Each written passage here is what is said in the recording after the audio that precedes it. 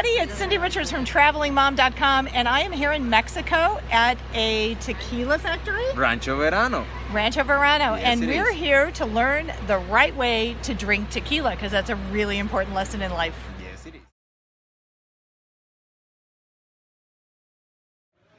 I am the one that it will teach you the way to drink the tequila. Okay, so what kind of tequila have you got there?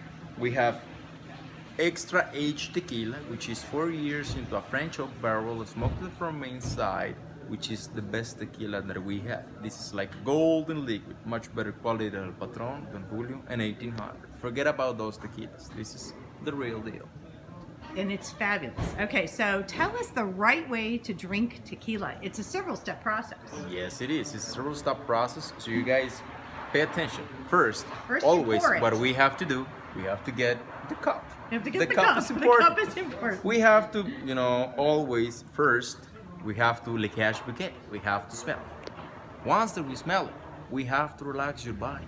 The way how we're gonna do that, we have to take a deep inhale by your nose, exhale by your mouth. Once you exhale by your mouth, you will take one shot. After you take one shot, you guys will do one swallow. After you swallow, recast your breath. Inhale by your nose, exhale by your mouth. Listen, I'm gonna do it first. Pay attention. This is the right way to do this. First, we smell, we inhale, exhale, one shot, one swallow, recast your breath. Take a look.